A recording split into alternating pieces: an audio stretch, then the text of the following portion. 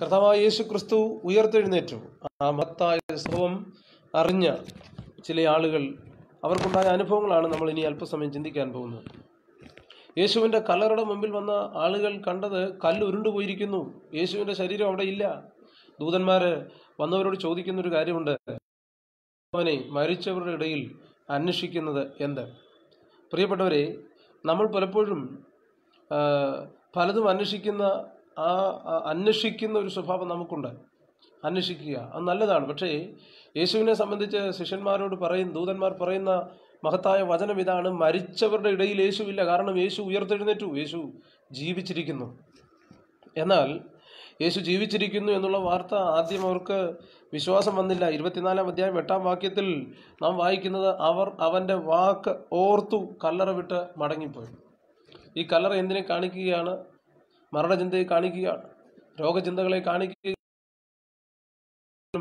നമ്മളൊക്കെ ഈ കല്ലറയുടെ മുമ്പിൽ നിന്ന് കറങ്ങുന്നതിന് കാരണം എന്താണെന്നറിയാമോ? യേശു പറഞ്ഞ വാക്കുകളൊന്നും ഓർക്കാത്തത് കൊണ്ടാണ് യേശു മഗ്ദലക്കാര്യത്തിൽ മറി ഉൾപ്പെടെയുള്ള സ്ത്രീകൾ കല്ലറയുടെ മുമ്പിൽ നിന്നതിന് കാരണം യേശു പറഞ്ഞ വാക്ക് ഓർമ്മയില്ലാത്തത് കൊണ്ടാണ് അവർ കല്ലറയുടെ മുമ്പിൽ നിന്ന് കറങ്ങുന്നത്. യേശു പറഞ്ഞത് എന്താണ്? മൂന്നാം ദിവസം ഞാൻ ഉയർത്തെഴുന്നേൽക്കും. മന്ദിരം പൊളിപ്പി ഞാൻ അതിനെ പണിയും എന്ന് യേശു പറഞ്ഞ വാക്ക് അവർ ഓർത്തു. യേശു പറഞ്ഞ വാക്ക് ഓർത്തപ്പോൾ അവരുടെ നിലപാട് മാറി കല്ലറുടെ മുമ്പിൽ നിന്ന് അവർ ഓടുകയാണ് ഓടുകയാണ്. യേശു ഉയർത്തെഴുന്നേറ്റു എന്ന വാർത്ത അവർക്ക് ഉറപ്പായിട്ട് മനസ്സിലായി. അങ്ങനെ അവർ ശിഷ്യന്മാർ ഒരുമിച്ചിരുന്ന സ്ഥലത്തേക്ക് കടന്നു ചെല്ലുകയും അവരൊരുമിച്ച് കർത്താവിനെ സ്തുതിക്കുകയും ചെയ്തു.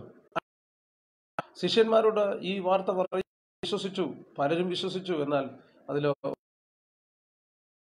വിശ്വസിക്കാതിരുന്നവർക്ക് പ്രത്യക്ഷനായി അവർക്ക് വിശ്വാസം ഉളവാകത്തക്കവണ്ണം തന്റെ മുറിവേറ്റ ആണിപാടുള്ള പാണി കരതൽ അവർക്ക് കാണിച്ചു കൊടുത്തു അവർ വിശ്വസിക്കുകയും ചെയ്തു ഇവിടെ നാം കാണുന്നത് ഈ യേശു ഉയർ നടക്ക് നടറിയ യെറുശലേമിൽ നിന്നും എമവസിലേക്ക് പോവുകയാണ്. യെറുശലേം ഉയർന്ന ആത്മീക അനുഭവം ജീവിത ഉപജീവനത്തെ കാണിക്കുന്നു. അല്ലെങ്കിൽ വൈകാരികമായ ചിന്തകളെ കാണിക്കുകയാണ്. താഴ്ന്ന അനുഭവത്തെ കാണിക്കുക ഒരു ആത്മീയ അർത്ഥത്തിൽ പറഞ്ഞാൽ ഉന്നതമായ ഒരു ആത്മീയ അനുഭവത്തിൽ നിന്നും വളരെ താഴെയുള്ള ഒരു എം എസിലേക്കാണ് ഇപ്പോൾ ഈ രണ്ട് ശിഷ്യന്മാർ കടന്നു പോകുന്നത്.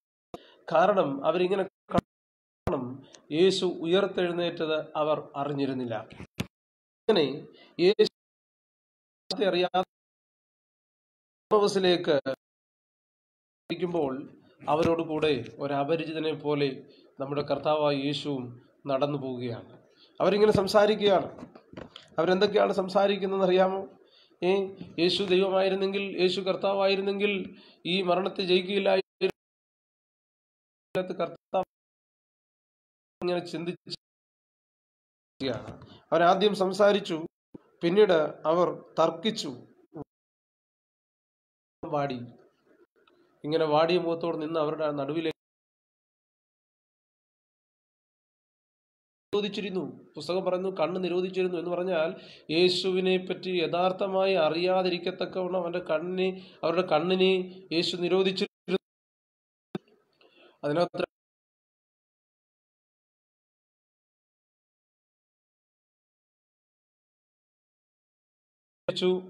അപ്പോൾ യേശുവിനെ അവർക്ക് മനസ്സിലാകാതെ ഇരുന്നു വെളിപ്പാടിനെ കാണിക്കുകയാണ്. സ്തോത്രം. എന്നാൽ പിന്നീട് നാം വായിക്കുന്നത് വാടിയ മുഖത്തോട് പോയവരോട് യേശു ചോദിക്കും നിങ്ങൾ എന്താ ഇങ്ങനെ വാടിയ മുഖമായി നിൽക്കുന്നത്? നിങ്ങൾ എന്താ ഇങ്ങനെ വിഷണ്ണരായി നിൽക്കുന്നത്? അപ്പോൾ യേശുവിനോട് അവർ പറഞ്ഞ കാര്യം ഏയ് എരുശലേമിലെ പരദേശികളെ നീ മാത്രം അറിഞ്ഞില്ലേ? അത്ഭുതങ്ങളും അടയാളങ്ങളും വീര്യപ്രവൃത്തികളും ഒക്കെ ചെയ്ത് ദേശത്ത് വലിയൊരു വ്യക്തിപ്രഭാവമായി മാറിയ യേശു പറഞ്ഞൊരു മഹാൻ. അവനെ യഹൂദന്മാർ ക്രൂശിച്ചു. റോമൻ ഗവൺമെന്റ് അവന്റെ കല്ലറയ്ക്ക് മുൻപിൽ വലിയ കല്ലുരുട്ടി വെച്ചു ഇമ്പീരിയൽ മുദ്ര കൊണ്ട് അടച്ചു വെച്ചു. ഒരിക്കലും ഇനി അവൻ പുറത്തു വരാതെ അടച്ചു വെച്ചു. പ്രിയപ്പെട്ടവരെ ഇത് സംസാരിച്ചു കൊണ്ടിരിക്കുന്നത് ആരോടാണെന്ന് അറിയാമോ? ഉയർത്തെഴുന്നേറ്റ് യേശുവിനോടാണ് യേശുവിന്റെ പഴയകാല അനുഭവങ്ങൾ വിവരിച്ചു കൊണ്ടിരിക്കുന്നത് എന്നാൽ നാം ഇവിടെ കാണുന്നത് ഈ യേശുവിനെ പറ്റി എമ്മോസിലേക്ക് പോകുന്ന ശിഷ്യന്മാർക്ക് ചില അഭിപ്രായങ്ങൾ ഉണ്ടായിരുന്നു. യേശു അവരോട് ചോദിച്ചു അവൻ ആരാണ്? അപ്പോൾ അവർ പറയുകയാണ് ദൈവത്തിനും സകല ജനത്തിനും മുമ്പാകെ വാക്കിലും പ്രവൃത്തിയിലും ശക്തിയുള്ള പ്രവാചകനായിരുന്നു യേശു. യേശുവിന്റെ പേരറിയാം. ഈ എം എസിലേക്ക് പോകുന്ന ശിഷ്യന്മാർക്ക് പലതും അറിയാം. ഒന്ന് യേശു ആരായിരുന്നെന്നറിയാം. യേശു പ്രവാചകനായിരുന്നെന്നറിയാം. യേശു അത് ഇസ്രയേലിനെ വീണ്ടെടുക്കുവാനുള്ളവനായിരുന്നു എന്നൊക്കെ അറിയാം. പക്ഷേ ഇത്രയും ആ അറിവുണ്ടായിരുന്നിട്ടും അവർ എം എസിലേക്ക് പോവുകയാണ്. എം എസ് എന്തിനെ കാണിക്കുകയാണ്? താഴ്ന്ന ആത്മീയ അനുഭവത്തെ കാണിക്കുകയാണ്. വളരെ ലോ സ്റ്റാൻഡേർഡ് ആയിട്ടുള്ള ഒരു സ്പിരിച്വൽ ലൈഫിനെ കാണിക്കുകയാണ്. എന്നാൽ ഈ ഈ വ്യക്തികൾക്ക് ഇതൊക്കെ അറിയാമായിരുന്നുവെങ്കിലും യേശു ഉയർത്തെഴുന്നേറ്റതിന് അവർക്ക് സാക്ഷ്യം വഹിക്കാൻ സാധിച്ചിരുന്നില്ല. ഇവരിങ്ങനെ മുൻപോട്ട് പോകുമ്പോൾ യേശു അവരുടെ അവരോട് കൂടെ നിന്ന് സംസാരിക്കുമ്പോൾ നമ്മൾ ഇരുപത്തിമൂന്നാം വാക്യത്തിൽ വായിക്കുന്നത് ഈ മൂന്ന് ദിവസമായിട്ടും യേശു മൂന്ന് ദിവസം ഞങ്ങൾ പ്രതീക്ഷിച്ചു. ഞങ്ങളുടെ പ്രതീക്ഷകൾ ഇത്ര ദിവസമായിട്ട് യേശു എഴുന്നേൽക്കുമെന്നൊക്കെ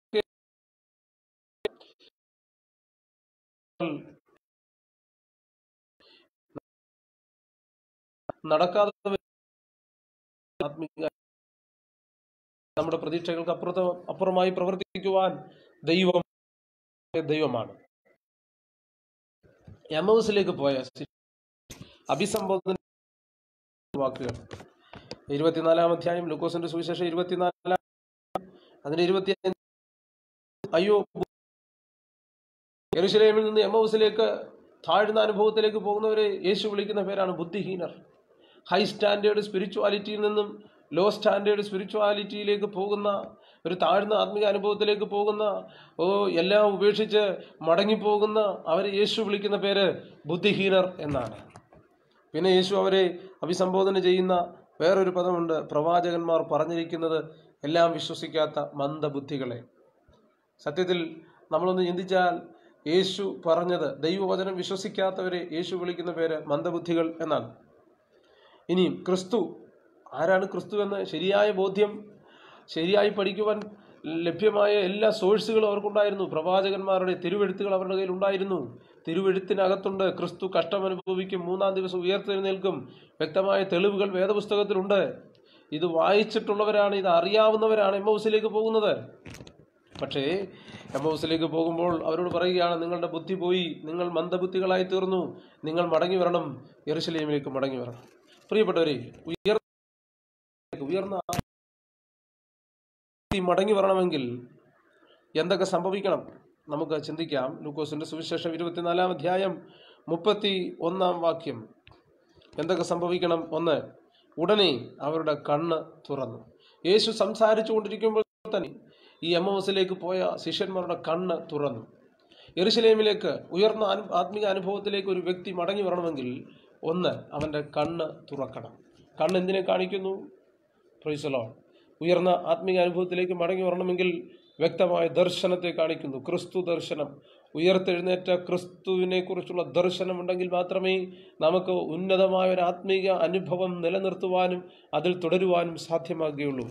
യേശു അവരോടുകൂടെ ആയിരുന്നപ്പോൾ അവരുടെ കണ്ണ് തുറന്നു. രണ്ട് മുപ്പത്തിരണ്ടാം വാക്യത്തിൽ അവൻ തിരുവെഴുത്തുകളെ തെളിയിച്ചു. ഒരു കൂട്ട ആത്മീക കൂട്ടായ്മയ്ക്കകത്ത് നടക്കേണ്ട മൂന്ന് അനുഭവങ്ങളാണ് നമ്മളിപ്പോൾ ചിന്തിച്ചുകൊണ്ടിരിക്കുന്നത്. യേശുവും എം എസിലേക്ക് പോയ ശിഷ്യന്മാരും കൂടെ കൂട്ടായ്മ ആചരിച്ചപ്പോൾ ഒന്ന് അവരുടെ കണ്ണ് തുറന്നു. രണ്ട് തിരുവെഴുത്തുകൾ തെളിയിക്കപ്പെട്ടു. മൂന്ന് അവരുടെ ഹൃദയം ഉള്ളിൽ കത്തിക്കൊണ്ടിരുന്നു. ഉന്നതമായ ആത്മീക അനുഭവത്തിലേക്ക് മടങ്ങി വരുവാനുള്ള മൂന്ന് മാർഗങ്ങളാണ് യേശു എം എസിലേക്ക് പോയ ശിഷ്യന്മാർക്ക് കാണിച്ചു കൊടുത്തത്. ഇന്ന് രാത്രിയിൽ ഞങ്ങളെ ശ്രദ്ധിച്ചു കൊണ്ടിരിക്കുന്ന പ്രിയ ദൈവമക്കളെ ഉന്നതമായ ആത്മീയ അനുഭവത്തിലേക്ക് മടങ്ങി വരുവാൻ നമുക്കും ഈ മൂന്ന് അനുഭവങ്ങൾ ആവശ്യമാണ്. ഒന്ന് നമ്മുടെ കണ്ണ് തുറക്കപ്പെടണം. രണ്ട് തിരുവെഴുത്തുകൾ തെളിയിക്കപ്പെടണം. മൂന്ന് അതെ ഹൃദയം ഉള്ളിൽ കത്തിക്കൊണ്ടിരിക്കണം. സ്തോത്രം. ഈ മൂന്ന് അനുഭവങ്ങളെക്കുറിച്ചാണ് അല്പനിമിഷം നാം ചിന്തിക്കാൻ പോകുന്നത്. എറിശലേമിലേക്ക് മടങ്ങി വരിക ആത്മീക അനുഭവത്തിലേക്ക് മടങ്ങി വരുവാനുള്ള ഒന്നാമത്തെ അനുഭവം ദർശനമാണ്. ദർശനം. എം ഹൗസിലേക്ക് പോയ യേശു ഉയർത്തെഴുന്നേറ്റ ക്രിസ്തുവായിട്ട് അവർക്ക് വെളിപ്പാടിൽ അനുഭവിപ്പാനിടയായി പ്രിയപ്പെട്ടവരെ ഈ കേട്ടുകൊണ്ടിരിക്കുകയാണ്. രാഷ്ട്രീയ പാർട്ടികളുടെ അരുംകൊലകൾ നാം കണ്ടുകൊണ്ടിരിക്കുകയാണ്. ഇവിടെ നടക്കുന്ന മാറ്റങ്ങൾ നാം കണ്ടുകൊണ്ടിരിക്കുകയാണ്. ഈ ഭൂമിയിൽ പ്രപഞ്ചത്തിൽ നടക്കുന്ന മാറ്റങ്ങൾ മതത്തിൽ വിശ്വാസത്തിലൊക്കെ നടക്കുന്ന മാറ്റങ്ങൾ ബന്ധങ്ങളിൽ ഉണ്ടാകുന്ന ഉലച്ചിലുകൾ ഇതെല്ലാം നാം കണ്ടുകൊണ്ടിരിക്കുകയാണ്. ഇങ്ങനെയുള്ള ഇന്നത്തെ കാഴ്ചകളൊന്നും നമ്മുടെ അകത്ത് ഒരാ എന്നാൽ ഉയർത്തെഴുന്നേറ്റ ക്രിസ്തുവിനെ നാം കാണുകയാണെങ്കിൽ മരണത്തെ ജയിച്ച പാതാളത്തിന്റെ താക്കോൽ കൈവശമാക്കിയ മരണത്തെയും പാതാളത്തെയും തകർത്തുകൊണ്ട് എന്നേക്കും ജീവിക്കുന്ന യേശുവിനെ നാം കണ്ടുമുട്ടിയാൽ നിശ്ചയമായും നാം ഒരു ഉന്നത അനുഭവത്തിലേക്ക് മടങ്ങി വരുവാനിടയായിത്തീരും. നമ്മുടെ സകല വേദനകളും മറന്ന് നമ്മുടെ സകല ദുഃഖങ്ങളും മറന്ന് നമുക്ക് ഒരുമിച്ച് ആത്മാവിൽ സന്തോഷിപ്പാൻ ദൈവം അവസരം തരും. അതിനാരംഭമായി നടക്കേണ്ടത് കണ്ണു തുറക്കുക എന്നുള്ളതാണ്. ക്രിസ്തുവിനെ അറിയാതിരിക്കുവാൻ പിശാജ് പലരുടെയും കണ്ണിനെ ഇരുട്ടാക്കുന്നു കുരുടാക്കുന്നു കണ്ണിനെ കെട്ടിക്കളയുന്നു. ഇന്ന് പലതും കൺകെട്ട് വിദ്യകളായി മാറിക്കൊണ്ടിരിക്കുകയാണ്. പല ആത്മീക ശുശ്രൂഷകളെന്ന് അഭിമാനിക്കുന്നവർ പോലും കൺകെട്ട് വിദ്യകളിലൂടെ ജനത്തെ ഉന്നതമായ ആത്മീക അനുഭവത്തിൽ നിന്നും ഭൗതികമായ ലോ സ്റ്റാൻഡേർഡ് സ്പിരിച്വാലിറ്റിയിലേക്ക് തള്ളിക്കൊണ്ടിരിക്കുകയാണ്. അങ്ങനെ തള്ളിക്കൊണ്ടിരിക്കുമ്പോൾ ഇന്നത്തെ സഭയ്ക്ക് ഇന്നത്തെ വിശ്വാസ സമൂഹത്തിന് ആവശ്യം ഉയർത്തെഴുന്നേറ്റ ക്രിസ്തുവിന്റെ ദർശനമാണ്. നേതാക്കൻ സഭാ നേതാക്കന്മാരെ കാണുന്ന ദർശനമല്ല. സഭയിലുള്ള ഭൗതിക വസ്തുക്കളെ കാണുന്നതല്ല. ഭൂമിയിലുള്ള ബന്ധങ്ങളെ കാണുന്ന ദർശനമല്ല. ഉയർത്തെഴുന്നേറ്റ ക്രിസ്തുവിന്റെ ദർശനമാണ് ഇന്നത്തെ നമ്മുടെ സഭയ്ക്ക് ആവശ്യം. അങ്ങനെ ഉയർത്തെഴുന്നേറ്റ ക്രിസ്തുവിനെ നാം കണ്ടാൽ നിശ്ചയമായും നാം എം ഹൗസിലേക്ക് പോവുകയില്ല തിരിച്ച് നാം എറുഷലേമിലേക്ക് മടങ്ങി വരും. രണ്ട് ഉയർന്ന അനുഭവത്തിന് ഉയർന്ന ആത്മീയ അനുഭവത്തിന് വേണ്ട രണ്ടാമത്തെ അനുഭവമാണ് തിരുവെഴുത്തുകൾ തെളിയിക്കുക. ഒന്ന് ക്രിസ്തു ദർശനം രണ്ട് തിരുവെഴുത്തുകൾ തെളിയിക്കപ്പെടണം വേദപുസ്തകം അത് വെളിപ്പാടാണ്. വേദപുസ്തകം ഉടമ്പടിയുടെ പുസ്തകമാണ്. വേദപുസ്തകം ബന്ധം ഉണ്ടാക്കുന്ന ബന്ധത്തിന്റെ പുസ്തകമാണ്. ദൈവവും സ്വർഗത്തിലായിരിക്കുന്ന ദൈവവും ഭൂമിയിലായിരിക്കുന്ന മനുഷ്യനും തമ്മിൽ ആത്മീക കൂട്ടായ്മയിലേക്ക് വരുന്നതിന് അടിസ്ഥാനം വിശുദ്ധ വേദപുസ്തകമാണ്. ഈ വിശുദ്ധ വേദപുസ്തകം തെളിയിക്കപ്പെടേണ്ടതാണ്. നമുക്കറിയാം എത്യോപ്യയിലെ ഷണ്ണൻ എന്ന് പറയുന്ന ധനകാര്യമന്ത്രി എത്യോപ്യയിലെ രാജ്ഞിയുടെ ധനകാര്യമന്ത്രിയോട് ഫിലിപ്പോസ് എന്ന് പറയുന്ന സുവിശേഷകൻ ദൈവവചനം വിശദീകരിച്ചു കൊടുത്തപ്പോഴാണ് തെളിയിച്ചു കൊടുത്തപ്പോഴാണ് സ്നാന ശുശ്രൂഷ നടന്നത്. ദൈവവചനം തെളിയിച്ചാൽ പല ആത്മീക ശുശ്രൂഷകളും നടക്കും. അതെ ഇന്ന് ദൈവവചനം തെളിയിക്കപ്പെടേണ്ട ആവശ്യമാണ്. യേശു ദൈവവചനം തെളിയിച്ചു കൊടുത്തു വ്യാഖ്യാനിച്ചു കൊടുത്തു അതിന്റെ പൊരുൾ തെളിയിച്ചു കൊടുത്തപ്പോൾ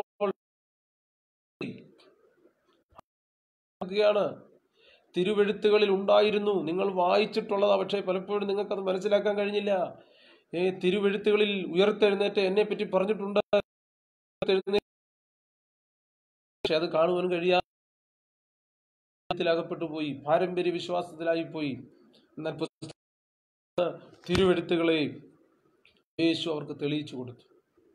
മൂന്നാമത്തെ അനുഭവമാണ് അവരുടെ ഹൃദയം ഉള്ളിൽ ഒന്ന് ക്രിസ്തു തിരുവെഴുത്തുകളെ തെളിയിക്കുക.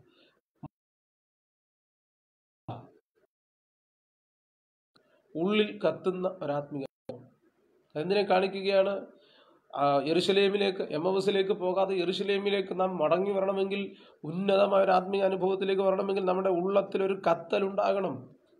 കത്തലുണ്ടായ ഉള്ളം കത്തിക്കൊണ്ടിരുന്ന ശിഷ്യന്മാരാണ് എം എസിലേക്ക് പോകാതെ അവരുടെ യാത്ര പകുതി വെച്ച് നിർത്തി പോവുകയാണ്. അവർ എരുസലേമിൽ വന്നാൽ എന്തൊക്കെയാണ് അവർക്ക് വേണ്ടി കാത്തിരിക്കുന്നത്?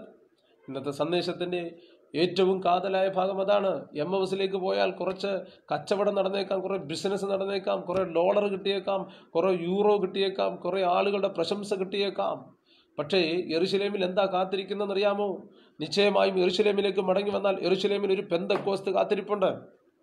ഉന്നത ആത്മിക അനുഭവത്തിലേക്ക് നാം മടങ്ങി വന്നാൽ കൃപങ്ങളുടെ ശുശ്രൂഷ നമ്മെ കാത്തിരിപ്പുണ്ട്. അന്യഭാഷ പുതിയ ഭാഷകൾ നമ്മെ കാത്തിരിക്കുന്നു. കൃപാവരങ്ങളുടെ ജ്വലനം നമ്മെ കാത്തിരിക്കുന്നു. സഭ വളർച്ചയ്ക്ക് വേണ്ട സകലതും കരുതി വെച്ചിരിക്കുകയാണ്. ലോകത്തെ കീഴ്മേൽ മറിക്കുന്നവരായി ഒരു ഒരു കൂട്ടം ആളുകളെ മാറ്റാൻ യെറുശലേമിലേക്ക് നാം തിരിച്ചു വരണമെന്നാണ് ഇന്ന് രാത്രിയും ദൈവം നമ്മോട് സംസാരിച്ചു കൊണ്ടിരിക്കുന്നത് എം ചിന്തകളെ നമുക്ക് ഉപേക്ഷിക്കാം. എം എസ് അല്ല നമ്മൾ എം എസിലല്ല നമ്മുടെ ലക്ഷ്യം. എം എസിലല്ല ദൈവത്തിന്റെ പിന്നെയോ യെറുഷലേമിലാണ് ദൈവം യെറുഷലേമിലേക്ക് മടങ്ങി വരണം. മടങ്ങി വരണമെങ്കിൽ ഒരു വ്യക്തി ദൈവത്തിങ്കിലേക്ക് മടങ്ങി വരണമെങ്കിൽ ദൈവികമായ ഇടപാടുണ്ടായേ മതിയാകുകയുള്ളൂ എമ്മൗസിലേക്ക് പോയ ശിഷ്യന്മാരെ തിരിച്ചു കൊണ്ടുവരുവാൻ കർത്താവ് തന്നെയാണ് ഉയർത്തെഴുന്നേറ്റ കർത്താവ് തന്നെയാണ് മുൻകൈയെടുത്തത്. ഈ ഭൂമിയിലെ ആരൊക്കെ വിചാരിച്ചാലും ഒരു പാപിയെ രക്ഷാമാർഗത്തിലേക്ക് തിരിച്ചു കൊണ്ടുവരുവാൻ സാധ്യമല്ല. എന്നാൽ പിതാവ് ആകർഷിച്ചിട്ടല്ലാതെ ആരും പുത്രനിലേക്ക് വരികയില്ല എന്നുള്ള വചനത്തിന്റെ അടിസ്ഥാനത്തിൽ സ്വർഗസ്ഥനായ പിതാവിന് നമ്മെ ക്രിസ്തുവിനോട് കൂടെ നിരപ്പിക്കുവാൻ ദൈവത്തോട് നിരപ്പിക്കുവാൻ ദൈവത്തിന് രാത്രി ഞാൻ ഞങ്ങളെ കേട്ടുകൊണ്ടിരിക്കുന്ന ദൈവമക്കളെ ഈ മെസ്സേജ് വളരെ അനുഗ്രഹമായി തീർന്നുകൊണ്ടിരിക്കുന്നു എന്ന് ഞാൻ വിശ്വസിക്കുന്നു. കാരണം എം എസിൽ ഇല്ലാത്തത് യെറുശലേമിൽ ഉണ്ട്. എന്താണ് യെറുശലേമിൽ ഉള്ളത്? യെറുശലേമിൽ ഒരു പെന്തക്കോസ് വെളിപ്പെടുന്നു. രണ്ട് ആദിമ സഭ വെളിപ്പെടാൻ പോകുന്നു. പന്ത്രണ്ട് പേര് പേരിലേക്കും അയ്യായിരം പേരിലേക്കും എണ്ണമറ്റ സംഖ്യയിലേക്കും സുവിശേഷത്തിന്റെ വലിയ വിശാലമായ ഒരു. അപ്പോൾ പെന്തക്കോസ്തിന്റെ അനുഭവമുണ്ട് രണ്ട് യെറുശലേമിൽ ഒരു സഭ രൂപ പാരമ്പര്യ ശക്തികളെ വെല്ലുവിളിച്ചുകൊണ്ട് ആത്മശക്തിയാൽ നിറഞ്ഞുകൊണ്ട് ആത്മാവിന്റെ പ്രദർശനശാലകളായി തീരുവാൻ ദൈവം തന്നെ യെറുശലേമിലേക്ക് മടങ്ങി വരുവാൻ യേശു ഉയർത്തെഴുന്നേറ്റ ക്രിസ്തു എം പോയ ശിഷ്യന്മാരെ ആഹ്വാനം ചെയ്യുകയാണ്. ഇന്ന് രാത്രിയിൽ ഞങ്ങളെ കേട്ടുകൊണ്ടിരിക്കുന്ന എന്നെ കേട്ടുകൊണ്ടിരിക്കുന്ന ദൈവമക്കളെ നമുക്ക് എറുശലേമിലേക്ക് മടങ്ങി വരാം. ജോലിക്ക് വേണ്ടി ഉപജീവന മാർഗങ്ങൾക്ക് വേണ്ടി നമ്മുടെ അന്നുള്ള ആവശ്യങ്ങൾ നടത്തി നടത്താൻ വേണ്ടി പല നിലകളിൽ നാം ഏതെങ്കിലുമൊക്കെ ഡൗൺ താഴ് താഴ്ന്ന ഒരു ആത്മീയ അനുഭവത്തിലേക്ക് പോകാറുണ്ട്. എന്നാൽ അതെല്ലാം ഒന്ന് ഉപേക്ഷിച്ചിട്ട് ഉന്നതമായ ഒരു ആത്മീയ അനുഭവത്തിലേക്ക് ഒരു ഒരു പവർഫുൾ ശുശ്രൂഷയിലേക്ക് ഒരു ആത്മീക വിടുതലിലേക്ക് നമുക്കൊന്ന് മടങ്ങി വരാം. നിശ്ചയമായിട്ടും നമ്മുടെ എല്ലാം പ്രതീക്ഷകൾ പൂവണിയുന്നത് നമ്മുടെ എല്ലാം പ്രതീക്ഷകൾ ഒന്നുകൂടെ പുഷ്പിക്കുന്നത് യെറുശലേമിൽ വെച്ചാണ്. ഉയർത്തെഴുന്നേറ്റ ക്രിസ്തു അവരെ യെറുശലേമിൽ കൊണ്ടുപോയി. ഈ ലോകമെമ്പാടും പ്രചരിപ്പിക്കാനുള്ള ഈ ലോകമെമ്പാടും സാക്ഷിയാകാനുള്ള യേശുവിന് സാക്ഷിയാകാനുള്ള പ്രത്യേകമായ ശക്തി അവരുടെ മേൽ പകർന്നു. ലോകത്തിന്റെ നാനാ കോണുകളിലേക്ക് അവർ കടന്നുപോയി. ഞാൻ ഇങ്ങനെ വിശ്വസിക്കുന്നു എം എസിൽ നിന്ന് തിരിച്ച് എറുശലേമിലേക്ക് ഈ ലോകത്തിന്റെ പല കോണുകളിൽ കർത്താവിന്റെ സാക്ഷികളായി തീർന്നു കാണും. വ്യക്തമായ ചരിത്ര രേഖകളില്ലെങ്കിലും ആത്മാവിൽ എനിക്കൊരു കാര്യം മനസ്സിലായി. ഒരു വ്യക്തി യെറുശലേമിലേക്ക് മടങ്ങി വന്നാൽ സഭയുടെ തൂണുകളായി ദൈവം അവരെ മാറ്റുകയായിരുന്നു. അനേകരെ രക്ഷയിലേക്ക് കൊണ്ടുവരുവാൻ അനേകരെ മാനസാന്തരത്തിലേക്ക് കൊണ്ടുവരുവാൻ അനേകരെ ഉന്നതമായ കൈപിടിച്ച് നടത്തുവാൻ യേശു അവരെ ഉപയോഗിച്ചു എന്നുള്ളത് വാസ്തവമാണ്. നമുക്ക് വീണ്ടും ചില കൊണ്ടിരിക്കുമ്പോൾ അവരാഗ്രഹിച്ചു പോയി ഈ യേശു അവരെ വിട്ടുപോകരുത്. നേരം വൈകാറായിരിക്കുന്നു. യേശു ഞങ്ങളോടുകൂടെ പാർക്കണം. അവർ യേശുവിനോട് പറഞ്ഞൊരു നേരം വൈകുന്നു. ഇന്നത്തെ ആത്മീക സന്ദേശം ഇത് തന്നെയാണ്. യേശുവിന്റെ നേരം വൈകിക്കൊണ്ടിരിക്കുകയാണ്. സമയം അവസാനിച്ചു. യേശുവിന്റെ സാന്നിധ്യം ആവശ്യമാണ്. എം ഹൗസിൽ നിന്നും യെരുശലേമിലേക്ക് മടങ്ങിപ്പോരുവാൻ ആഗ്രഹിച്ച ശിഷ്യന്മാർ ഞങ്ങളുടെ കൂടെ പാർക്കുക. ഞങ്ങളുടെ പ്രസൻസ് അങ്ങയുടെ സാന്നിധ്യം ഞങ്ങൾക്ക് ആവശ്യമാണ് ഇന്ന് രാത്രിയിൽ നമുക്ക് ഒരുമിച്ചൊന്ന് പ്രാർത്ഥിക്കാം. കർത്താവേ അങ്ങയുടെ സാന്നിധ്യമാണ് ഞങ്ങൾക്ക് ആവശ്യം നേരം വൈകിക്കൊണ്ടിരിക്കുന്നു. എല്ലാ നിലയിലും സമയം അവസാനിച്ചു കൊണ്ടിരിക്കുകയാണ് മഹാമാരിയുടെ കൊണ്ടിരിക്കുകയാണ് അവസാനിച്ചു കൊണ്ടിരിക്കുക സ്വരുക്കൂട്ടി വെച്ച തകർന്ന് തരിപ്പണം എന്ന കാര്യമാണ് അതേ നാം കണ്ടുകൊണ്ടിരിക്കുന്നത്. എന്നാൽ വിശുദ്ധ ബൈബിൾ പറയുന്നു എം എസിലേക്ക് നിന്ന് തിരിച്ചു പോകുന്ന ശിഷ്യന്മാർ പറയുന്നു പാർക്കുക ദൈവത്തിന്റെ സാന്നിധ്യം. ഈ സാന്നിധ്യം നമുക്ക് സ്വീകരിക്കുവാൻ. ദൈവത്തിന്റെ പരിശുദ്ധാത്മാവ് നമ്മെ സഹായിക്കട്ടെ. അല്ലെങ്കിൽ ഇരുപത്തിനാലാം അധ്യായത്തിൽ അവസാനം ഇങ്ങനെ നാം വായിക്കുന്നു യേശു ഉള്ളം കത്തിയ നാഴികയിൽ തന്നെ കണ്ണു തുറന്ന നാഴികയിൽ തന്നെ വചനം തെളിയിക്കപ്പെട്ട നാഴികയിൽ തന്നെ അവർ എറുശലേമിലേക്ക് മടങ്ങി പോന്നു മടങ്ങി വരവിന് എപ്പോഴും ദൈവം നമുക്ക് അവസരങ്ങളെ ഒരുക്കും. മടങ്ങി വരേണ്ടത് നാം ഓരോരുത്തരുമാണ്. അങ്ങനെയാണെങ്കിൽ ഇന്ന് രാത്രിയിൽ നമുക്ക് ഒരുമിച്ച് പ്രാർത്ഥിക്കാം. ദൈവത്തിന്റെ സാന്നിധ്യത്തിനായി നമുക്ക് സ്തോത്രം ചെയ്യാം. ഹാലലൂയ ഇന്ന് ഈ മെസ്സേജ് കേട്ടുകൊണ്ടിരിക്കുന്ന ആരെങ്കിലും നിരാശയോടുകൂടെ ദുഃഖത്തോടുകൂടെ എന്റെ കർത്താവ് ഉയർത്തെഴുന്നേറ്റില്ല എന്ന് പറഞ്ഞ് എം എസിലേക്ക് തിരിച്ചുപോയ ശിഷ്യന്മാരെ പോലെ ഒരു തിരിച്ചുപോക്കിന് ആഗ്രഹിക്കുന്ന ആരെങ്കിലും എന്നെ ശ്രദ്ധിക്കുന്നെങ്കിൽ പോകരുത്. നമ്മെ കാത്തൊരു എരുശലേമിന്റെ എക്സ്പീരിയൻസ് വെയിറ്റ് ചെയ്യുന്നുണ്ട്. ഒരു എരുശലേമിന്റെ എക്സ്പീരിയൻസ് നമുക്ക് വേണ്ടി കാത്തിരിക്കുന്നു. പവർഫുള്ളായിട്ടൊരു ആത്മീയ അനുഭവം. ഈ കോവിഡ് കൊണ്ട് സകലം അവസാനിച്ചു എന്ന് നാം ചിന്തിക്കരുത്. ഇല്ല ഇല്ല. ചില പുതിയ വഴികൾ ഓപ്പൺ ചെയ്തുകൊണ്ടിരിക്കുകയാണ്. കർത്താവിൽ വിശ്വസിക്കുന്നവർ ചേർന്ന് കർത്താവിന് മഹത്വം കൊടുക്കട്ടെ. ഒരുമിച്ച് നമ്മുടെ കണ്ണുകളെ അടച്ചുകൊണ്ട് ദൈവത്തോട് ആത്മാവിൽ പ്രാർത്ഥിക്കാം. പരിശുദ്ധനായ ദൈവമേ സ്വർഗീയ നല്ല രാജാവേ ഈ നല്ല രാത്രിക്കായി നന്ദിയോടെ സ്തോത്രം. കർത്താവേ അങ്ങ് ഉയർത്തെഴുന്നേറ്റില്ല എന്ന തെറ്റിദ്ധാരണയോടുകൂടെ എം എസിലേക്ക് പോയ ശിഷ്യന്മാരെ പോലെ അല്ല. കർത്താവേ അങ്ങയുടെ